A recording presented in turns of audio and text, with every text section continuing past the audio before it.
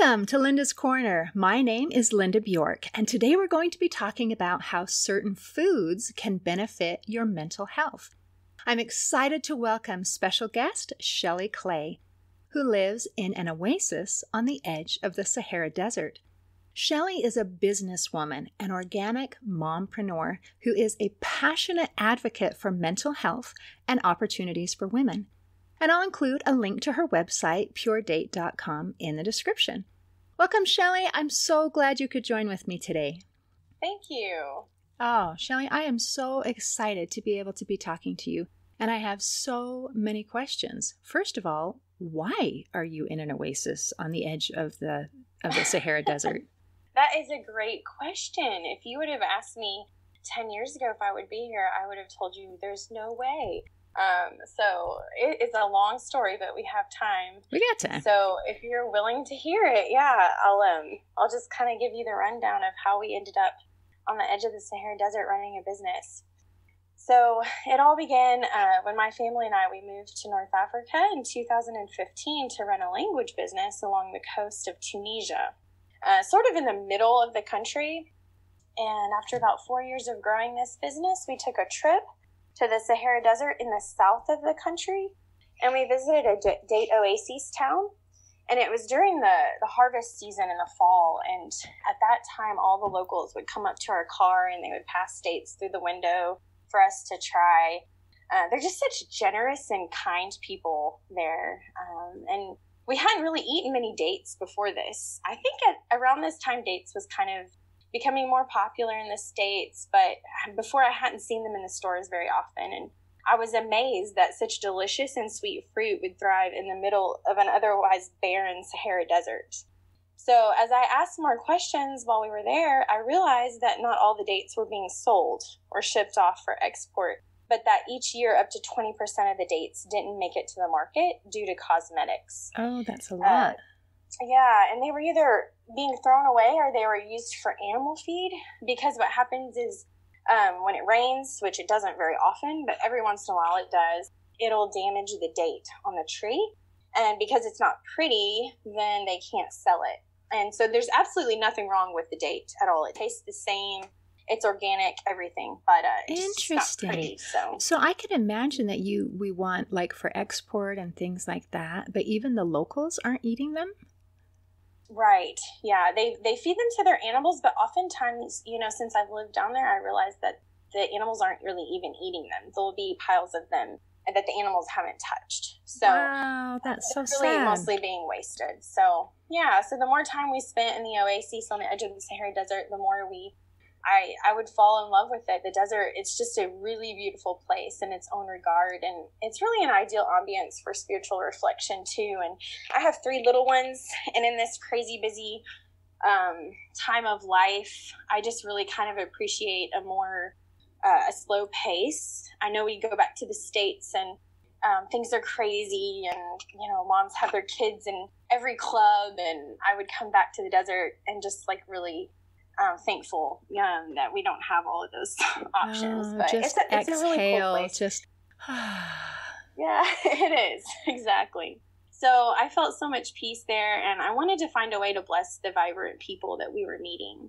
So God brought to mind a way that we could do this while we were caring for my nephews. So I'll have to rewind a little bit um, and tell you some of the backstory. So, shortly after we moved overseas, my sister needed help caring for her two boys. They were ages 9 and 11 at the time mm-hmm. because she was active in the military. And my nephews, because they didn't know Arabic at that time, they moved in with us. They couldn't go to the local schools. So, I took up homeschooling them. And uh, one of my nephews, he really struggled with school because of due to ADHD and I wanted to help him be able to focus and to have less emotional mood swings throughout the day due to frustration. And at the time, he was taking a pretty heavy dose of Ritalin uh, just in order to help him keep focus in school. And I didn't like how it changed his personality. Oh, so that's when I started re- started doing some research, anything I could about ADHD, um, and I looked for some more natural ways to support him. So many, many of the research studies that I stumbled on discussed how diet and specifically how sugar can actually impact mood swings and the symptoms associated with ADHD. And I had discovered date sugar while on our trip to the desert, but it was hard to find in country as well as in the States. So I experimented in my own kitchen with making date sugar from upcycled dates. So I would dry them out in the sun and I would grind them into the consistency of sugar with my coffee grinder because I wanted to keep them minimally processed. And I would start to substitute date sugar in recipes whenever a recipe would call for white sugar or brown sugar. And I was really shocked actually. Um, to my surprise, I discovered that it's it's really tasty. It sort of has like a caramel like flavor. It's good for baking as well as cooking. It goes in. Um, it's good for like Asian sauces. Uh, it's very versatile. So the more research I did, I discovered like the dates are a superfruit and that they're loaded with lots of nutritious fiber. They have like 45 times the antioxidants of honey. Wow. There's more potassium in one ounce of a date than there is in an ounce of a banana. Hmm. And it has iron in it too. So a lot of these sugar replacements that you find on the market now, um, they don't have, they're not full, full of nutrition because no. this is a totally plant based sugar. So for me, this was paradigm shifting.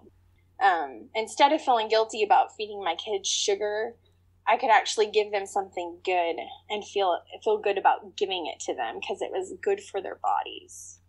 And and two, an added benefit was because it comes from a fruit, it digests slowly. So it has a low glycemic index. And so my nephew went and experienced that unwanted sugar crash, you know, that we can get from processed sugars. Absolutely. And even sweeteners like honey that have the potential to be all natural, but they have a higher glycemic index. Do you know what I mean by glycemic index? I don't know if. Yeah. Do you want to explain? I mean, it's just basically yeah. the way that the body handles it, the way it responds to it, right? Right. It's the way in which the sugar is released into the blood, the the bloodstream. And so a lot of sugars that most sugars that we eat have a high glycemic index in carbs. It comes from carbs um, and it's released quickly into the bloodstream. And so um, the slower it's released, it means it gives you energy um, at a, uh, it doesn't give you a surge of energy and then you crash, but it gives you a consistent amount of energy over a longer period of time. And it's, it's really um, ideal for people with diabetes, especially. So, so with that, I started trying to focus on incorporating whole foods into our diets uh, for my nephew mainly, but I felt actually the change in my own body and in my family too. Um, they we really started sort of just adopting this lifestyle of eating healthier and eating whole foods. And in doing this, we cut out all the white processed sugar, and it really increased my nephew's ability to focus. And we were able to cut down on his medication by four times. That's fantastic. it really was. And and we were able to catch up two years two years worth of school in one year. Wow. And we we saw far less emotional outbursts from him throughout the day. So what was cool about this is that we could still have fun rewards in our house. We could have cookies because they were made with date sugar. And that's when i knew we had a winning product. And it's really the best kept secret i think of all time because you know, we didn't want to keep this to ourselves. We wanted to share it with the world. And I wanted to let moms know everywhere that they're not alone in this sugar struggle and that there's truly a better alternative out there. So, um, my husband and I were both really driven people, people and were entrepreneurially minded.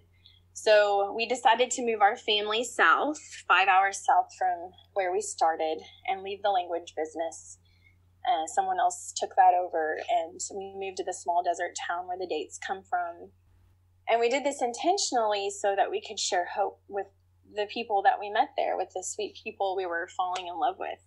Uh, instead of taking the work and the jobs away from an economically neglected place i wanted to focus on being a blessing to our local community. So through our company called Purdate um, we're able to make a real and tangible difference in people's lives by living there. And some of the ways that we do that, we provide um, year long, meaningful employment with benefits.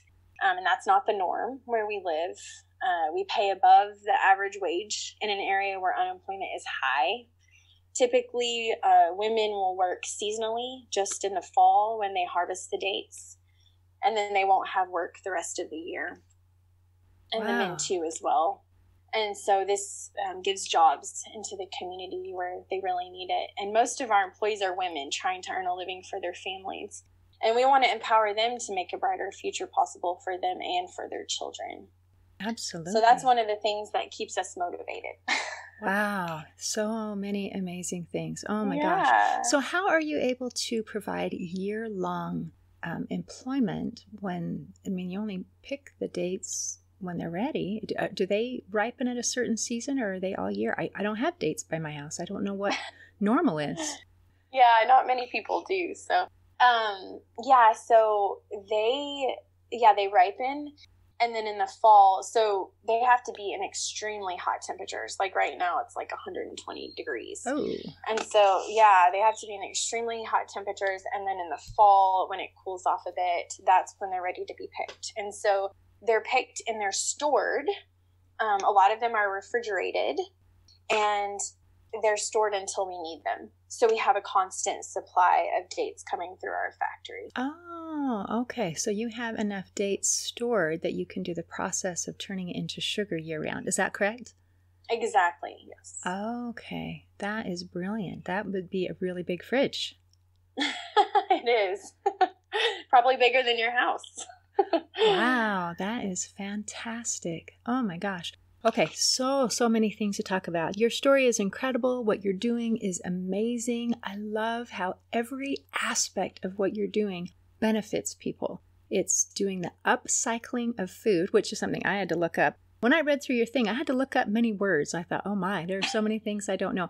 But the idea of upcycling is like like what you did where you take something food that would otherwise be wasted and find ways to to use it and make it be useful. So that food upcycling is brilliant in eliminating waste.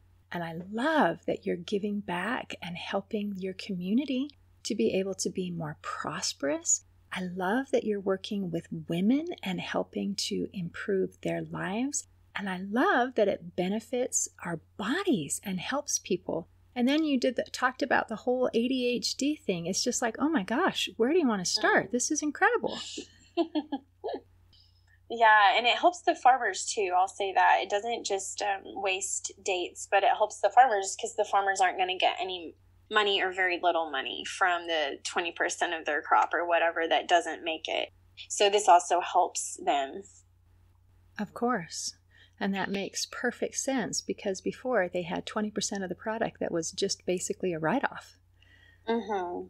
So exactly. that is amazing. Well, let's talk about can we talk about uh, women and employment and what it is like where you are? What what is the standard of living for for a normal family? Can you specify um, exactly what you mean by standard of living? Like, what kind of house do they live in, or how much do they make a month, or that is a good question. I guess it encompasses everything, doesn't it? So in a in a day to day, like what kind of house and what kind of food and what kind of clothes. So when you talk about how there is only employment for a few months in the year, how do you mm-hmm. make that last throughout because we have to live we, we don't get to stop eating just because we stopped you know picking the fruit or doing whatever our job was. So what do mm-hmm. people eat? Where, where does the water come from? Where does their food? Do they grow stuff? I mean how do you mm-hmm. how do you live when you're only working a couple months? Like i just don't understand. Yeah well you can't grow much down in the desert. And you can grow dates and a few other things but um, most of our produce comes from the north. Um, yeah, and I want to be respectful in talking about them because I, will I'll give you a quote that one person, one friend told me that lives close to me. He said, um, uh, "There's not poor people and there's not rich people in here. There's just we're all just people." Um, and living in Africa, I've learned one thing, and that's that uh, people live in community they're they're they're very communal instead of individualistic and so they always live with families there's family units so there'll be the grandparents and then maybe the sons that live with them typically uh, they'll build a house on top of their house like a second story and even a third story for their sons for when they get married and they have children they move in above them now the why the the daughters they don't do that because the daughters go and live with whoever they marry. And so oftentimes when they share meals, they share them all together and they share resources. And so if someone is in need in your family, is in need of money, then you have your family to go to, and your family is actually in some ways obligated to help you out. And so I think that's how, over many generations, um, people have lived in Africa and survived in Africa. And I know that's kind of hard for us to understand because if we have, say, a cousin that comes to us and they're like, oh, I, I need money to buy a car or I need money for my wedding. And we, we may not we may not feel like it's our responsibility to give them money to do that. But here it's an honor shame culture. And so if you do not give money to your relative or to your friend who's asking for help, then you are looked at with shame and they don't want to be shamed. But then they also expect that favor in return when they're in need. They'll go to you and say, we need this. And so I think that's kind of how life works here and people really I've I've learned to how to rely on my neighbors. And I'll tell you it's a really cool thing because it can be like I'm really busy one day and I just I'm not having time to make supper and and where we live there's not like restaurants you just go out and eat at. You don't have a lot of options. Mm-hmm. Um, you mostly cook every meal in your home and there'll be like a day where this has happened to me recently where i was really busy and i, I didn't get um, i didn't i didn't get time to cook dinner or i didn't have the food that i needed to cook dinner and a neighbor would just come over and just bless me with an abundance of food that she had just freshly prepared oh that's and beautiful yeah it's amazing it moves your heart because it's like thank you that i needed this and my family needed this now the next night you might return her plate full of food because you never return a plate empty. So any dish that ah. she gives you, you make sure that you pile it full of food and send it back to her. That is which is really lovely. kind of a cool giving and receiving thing that goes on. Oh, that's lovely. So what kinds of things go on the plate? Is it is it rice? Is it beans? Is it I mean, what kinds of food do you prepare? cookies with dates. A challenge for me, Linda. This has been one of the hardest parts of living here because I'll make something that my family really loves that we make in America, and I'll send it to them, and they're not shy to say that they didn't like it. and they'll tell me that to my face, believe it or not, which is actually I really appreciate because I'm like, okay, now I won't make that again. At least you didn't just go home and throw it away and tell me you didn't like it, you know?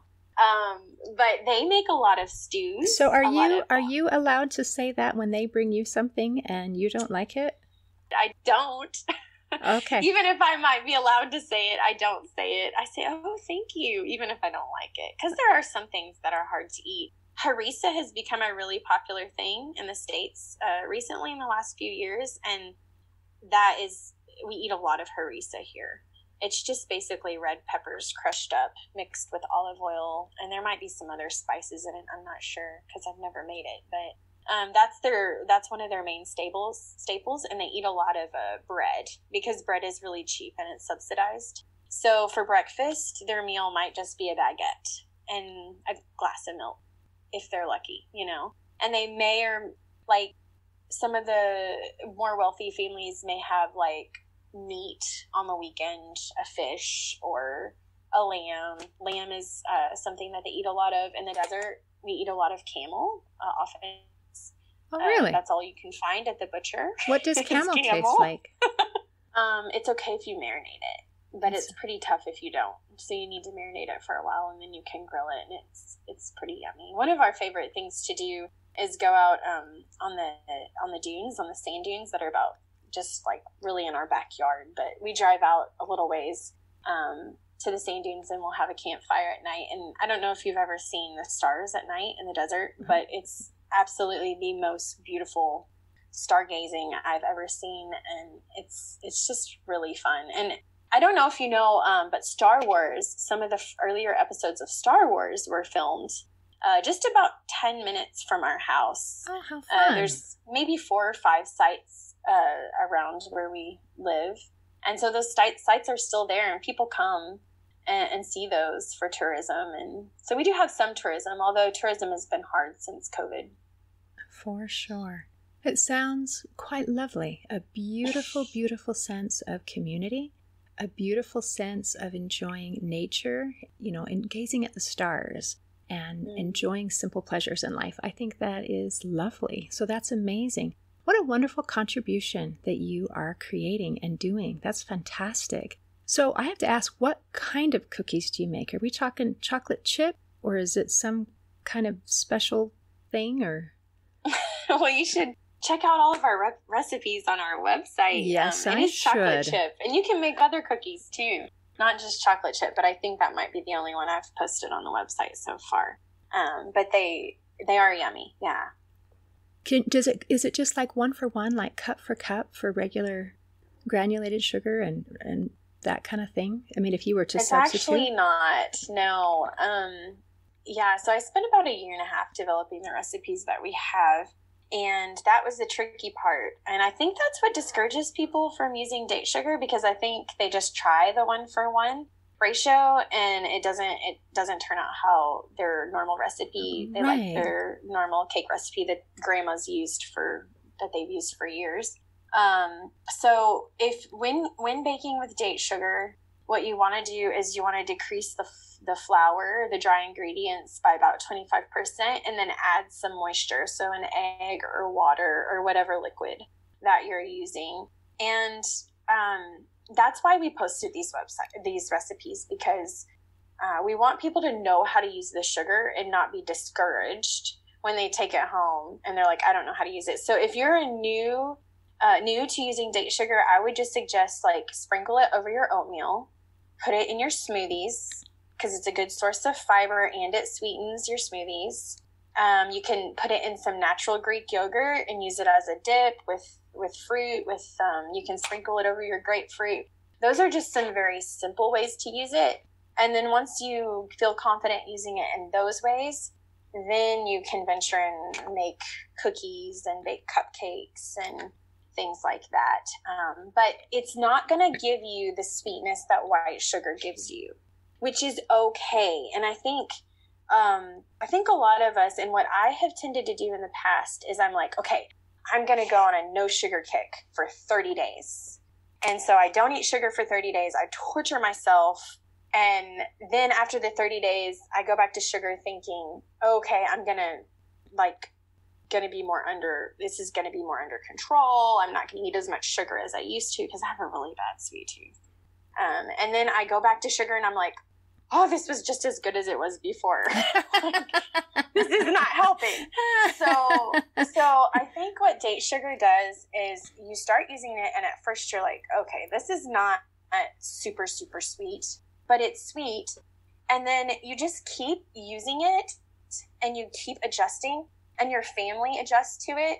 And then when I go back to the States and I eat some something that somebody made, brownies or cake or whatever and I taste it and I'm like, whoa, this is super sweet. So what's happened is my palate has changed over time. Mm-hmm. And the whole thought about this is, is maybe my children if i if i introduce this to them at a young age as they grow older they're not going to have the battle with sweets that i've had as an adult because they're not used to that kind of sweetness and they don't need that kind of sweet and sugar right. really is addictive. White sugar is addictive. It and really the more is. you have it, the more you want it. And that's just not a good thing because no. for many, many, many reasons. no, that is amazing.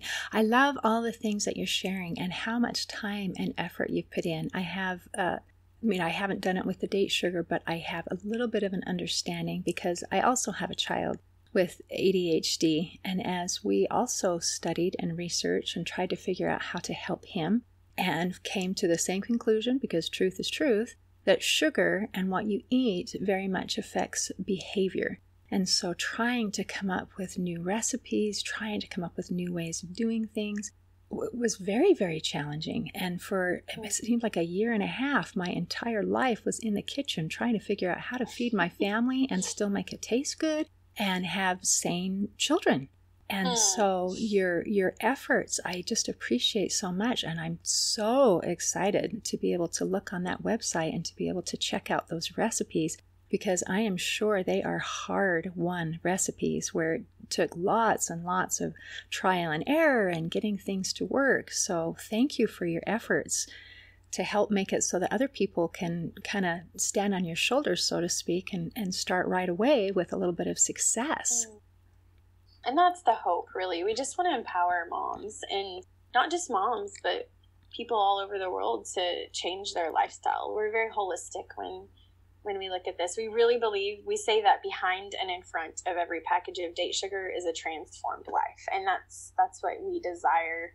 We want to sweeten the lives of everyone we come into contact with. That's kind of our tagline is Purdate making lives sweeter and that's what we aim to do. So um, and I think we don't realize how much sugar is in absolutely everything we eat almost. Like we yeah. don't see it. And like when I was young, I think my mom, I don't know if she ever looked at the ingredients on things. I mean, we had Kool Aid and chocolate milk every morning for breakfast and you know all of these things. And now now i'm much more i think everyone now is looking at labels and they're realizing that there is sugar in everything. And so yeah just being more mindful of of what we put into our bodies. And especially since covid i think a lot of children a lot of people are struggling with anxiety Mm-hmm. And so I think people are looking for more natural ways to heal their bodies and not just medicine. And I'm not I'm not saying medicine is not necessary. Um, my no, nephew he not. still took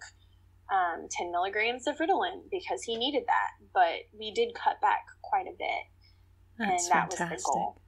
That's amazing. And I love how you talk about anxiety and that watching what we eat can also help with that sometimes we think, oh, well, our physical and our mental and our emotional, they're, they're separate and they don't touch. In reality, when we work on one, it helps with the other. And when we work on what we eat, it helps affect the way that we feel. And it helps us to feel more empowered, which is a, a beautiful, beautiful thing. Exactly. And we don't have to become obsessed with it. You know, I think sometimes we can make food an obsession and this is just, it's not a zero calorie sugar. It has calories. It has a third less calories than white sugar, but it has calories because our body needs calories. We don't, I think, you know, sometimes we can not consume enough calories throughout the day. And then we're like really hungry all day and we're wondering why we're binge eating at night. Right. so we don't, we don't want to make food like the ultimate thing that we think about all the time. And this is just a really no. good way to be able to enjoy sweet things in a healthy way. And it's possible. So I think that's a a really cool thing that we just want to share with the world. That is amazing. So besides your website, where else can we find your wonderful product? So right now we're on Amazon. That's probably the easiest way. You can also buy our product, yeah, on the website um, but also through Amazon. So it's Purdate, and Pure is without the E. So it's P U R D A T E sugar, and it's all one word. Purdate is all one word. That is fantastic. And our website's the same, purdate.com, though. Amazing. Well, thank you for what you're doing. I, I love it. I love that you're helping your family, you're helping your community, and then reaching out to help the world. It, it's just inspiring.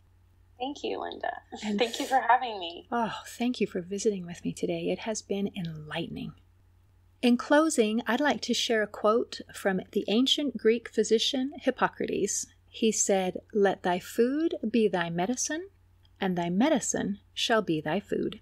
Today, I invite you to make good food choices so your food can be a medicine to your body and your mind. See you next time on Linda's Corner.